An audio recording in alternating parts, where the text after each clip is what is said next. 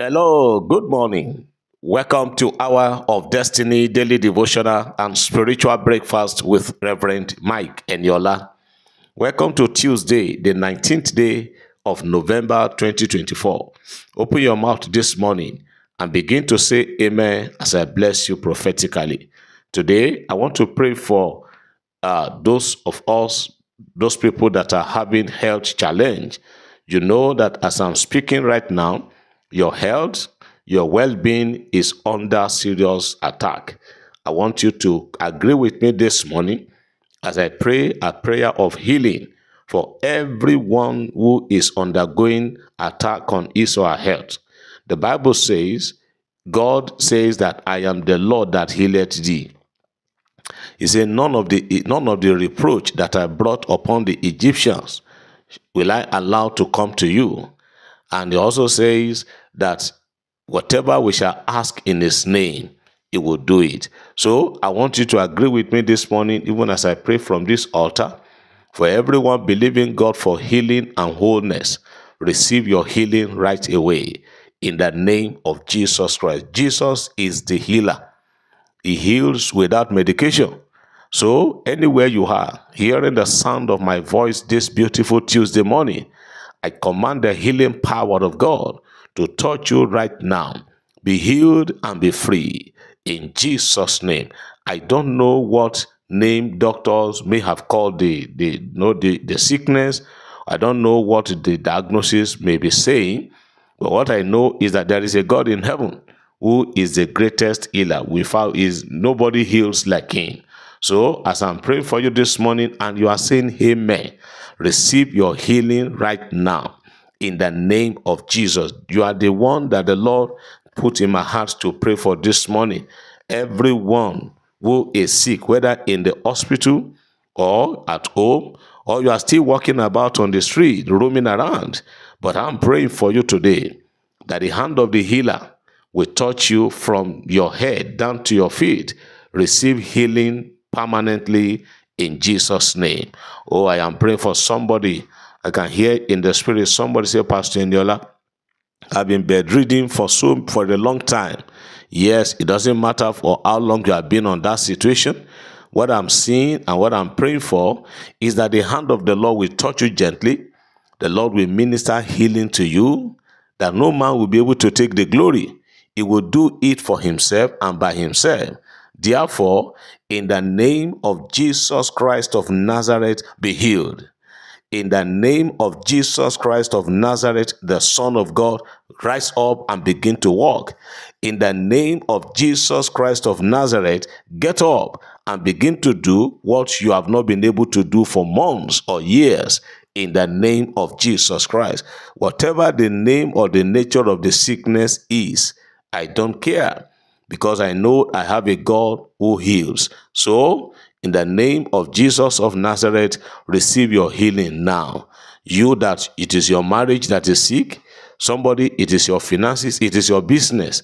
Your, you just know that so many things, Pastor, your ministry is sick. I prophesy healing right away in Jesus' name.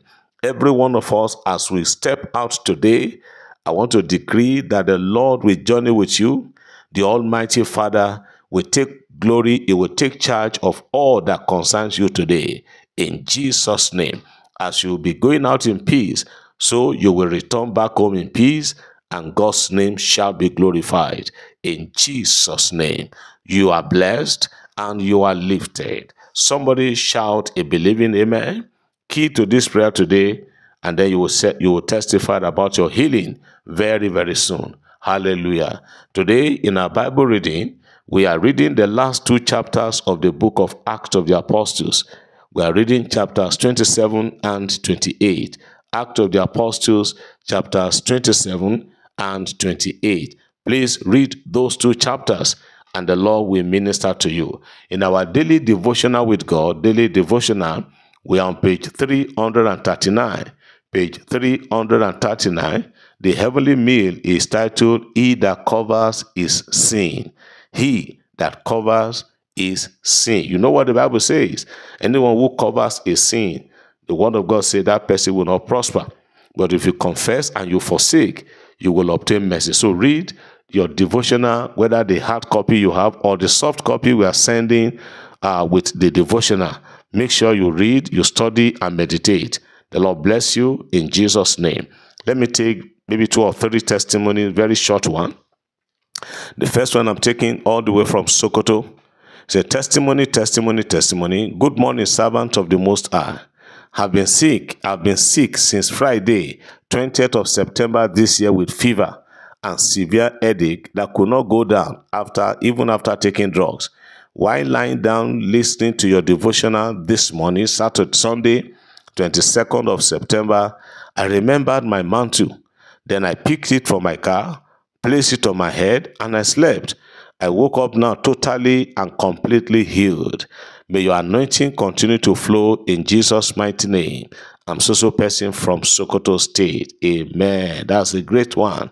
Your healing is permanent. Another one is here. Hallelujah. Daddy, kindly share my testimony. The Lord has honored your prayers on my nephew who has been diagnosed with liver problem. It got so critical and I called you to help me to pray to God for healing over him. And you prayed and prophesied that hand of death on him has been cancelled in the name of Jesus. Today, he is healed of the disease because God honored your prayers. Daddy, thank you for availing yourself to God for the salvation and deliverance of humanity. Continue to soar on the lost wings till we all get to heaven in Jesus' name. I'm so so person from Jos. Wow, that's a good one. Another testimony is here. This was a good morning, servant of God. I want to thank El Roi for coming through for me have been following up a medical treatment to an accident I had in 2019. Last week, Thursday, I visited the clinic as usual. I was checked and drugs prescribed. I bought the tablet for 15,000 naira. As I used my bike to return from the hospital, the tablet of 15,000 naira fell off from the bike without me noticing it. I felt bad. However, I was not too worried. I put a call through I put a call through to two friends and I told them my predicament. Each of them blessed me with 10,000 naira each. Hallelujah. As if, as if that wasn't enough of God's kindness. Today, being Monday, I visited the hospital again.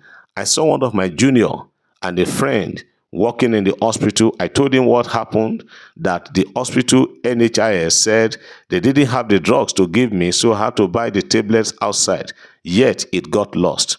He felt sorry and told me that they have those tablets in their own department and they gave those tablets to me all for free. The full dose of the tablet will cost me more than 30,000 but I initially bought a little quantity of 15,000 naira to start. That my junior colleague gave me a full dose of that drug for of that drug for free. I have come to say I'm grateful to El Roi, the God that sees me. May all praises be ascribed to his name. I have also paid my tithe. Wow. You are permanently healed, beloved, in Jesus' name. Now, today, I want us to look at the Word of God to start from where we finished yesterday on the subject of protecting or protect your dream. I told us yesterday it is within your power and frame of mind to make sure that you guide and protect your dream. I also told us that the dream I'm talking about is not the dream of uh, you sleep and you see yourself in another, in maybe your hometown or village. We're talking about dreams of good things that you have or that God have revealed to you. I said yesterday that many people have aborted their dreams by themselves because they don't know how to keep it. This morning, let's begin to look at somebody may want to say, Pastor Eniola, how do I protect, how do I keep or guide my dream? You recall yesterday we read from the book of Genesis, chapter 37. We used the story of uh, this young man, uh, Joseph, as a case study. He had a dream, he told his brothers, they hated him. Then he had another one. And he told them, Bible said they hated him the more. One of the problem, yes, somebody may want to say Pastor Nella, but it later ended in praise for Joseph. Yes, but for God's mercy. One of the problem that Joseph had was unbridled tongue. As you are hearing me this morning, the number one way of protecting your dream is by you know, bridle your tongue. It is not everything you say out at once. There are some things you don't need to announce it. By the time it comes out, everybody will see it. All eyes will see it. Let's look at the book of First Samuel. First Samuel chapters uh, chapter 10. First Samuel chapter 10. Then we're going, if you look at it from verse 1, the Bible talking about you know, Samuel anointed Saul to become king, and uh, that was the first anointing. They had an encounter at Ramah. And as he was going, Samuel told him, The Spirit of God is going to come upon you. You get in contact with some company of prophets, you will prophesy with them. And then, if you look at it from verse um, verse 14, First Samuel chapter 10 from verse 14, First Samuel 10 from verse 14. Let's read. I'm reading New Living Translation. Where have you been? Saul's uncle asked him, that is his uncle, asked him, and asked him and his servant, We were looking for the donkeys. Saul replied, But we couldn't find them, so we went to Samuel to ask him where they were. Then verse 15, Oh, and what did what did he say? That is his uncle asked him. What did he say? His uncle asked. Then look at verse 16. He told us that the donkeys had already been found. Saul replied, But Saul didn't tell his uncle what Samuel said about the kingdom. If you look at it from King James, that verse, uh, that verse 15 or verse 16, verse 15, it says, And Samuel said to his uncle, he, he told us plainly that the hatches were found, but of the matter of the kingdom, whereof which Samuel spake, he told him not. Samuel Saul did Saul, Saul kept mute in that area. He only told his uncle the, the prophecy that concerns the hash, the, the, the donkeys. But as for the for him becoming king tomorrow, he kept quiet. There are many people today, like I said yesterday, who have exposed themselves to enemies thinking that they were friends. That is why, even in our church, there are some testimonies I don't allow parishioners or congregants to share in the church because church is a public place. You don't know who is who is who in church. So there are some testimony, even on the platform of Hour of Destiny. There are many people who have accused me. Some said, the people you are sharing their testimony, are they giving you some, are they giving you money? Are they so special to you? Why have not shared my testimony? Beloved, if you have not heard me say it, hear it now. It is not every testimony we can share on this platform. During this uh, just concluded program in the city of Minna, one of my spiritual sons who came to attend a meeting from Shiroro in Shiroro local government area of Nigeria say where bandits were holding sway because I say where I believe they are no longer there. We have already expelled them by the grace of God. He came to see me during the counseling hour and he shared a testimony. He said, Daddy, this testimony I cannot share it on the crusade ground. But if I have your permission, I can share it in the church service tomorrow morning. This kind of testimony, I can't share it in the and I, I reasoned with him. As you are hearing me this morning, it is not everything you say out. I told us yesterday there are dream killers, there are dream dream destroyers, there are dream, there are envious people. Imagine if Saul had told his uncle about what Samuel told him about him becoming king tomorrow, what do you think that the uncle would have done to Samuel and uh, to Saul? So Joseph did not bridle his tongue. He opened his mouth and he said everything. That reminds me the story of a sister many years ago in Minna who had been believing God for fruit of the womb. And suddenly God remembered her and her husband and blessed her with pregnancy after many years. Then the pregnancy was not up to three months, still at the formative year. She went to women fellowship. So women fellowship, there are some people who have more than two eyes. No, she went to women fellowship and she put up her hand to share testimony. How she was already pregnant my pregnancy is about to clock three months. Oh, they say, praise God. Two or three days later, she started bleeding and she lost the pregnancy. Or somebody may want to say, Pastor Nella, what is the meaning of that? Bridle your tongue. There is not everything you say. When you when the things start manifesting, everybody will see it. Well, if you don't know how to bridle your tongue, you will run into trouble. If not for the mercies of God, Joseph wouldn't have become what God ordained for him because his brother did everything practically possible for them to eliminate him. I will continue on this tomorrow. Protect and guide your dream. Number one, bridle your tongue.